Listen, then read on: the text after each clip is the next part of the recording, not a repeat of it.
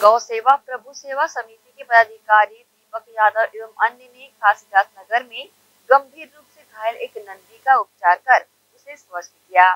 समिति के पदाधिकारियों को नंदी के घायल पड़े होने की जानकारी प्राप्त हुई, जिसके बाद दीपक यादव के नेतृत्व में पदाधिकारी मौके पर पहुँचे।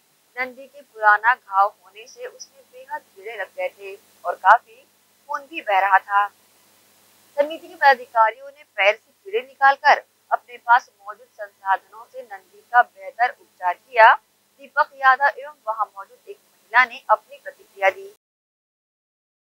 घासीदास नगर हनुमान मंदिर के पास एक बछड़े के पैर में चोट लग गया था। हम लोग दीपक को फ़ोन किए, बुलाए, इलाज किया है। अभी शांत ठीक है।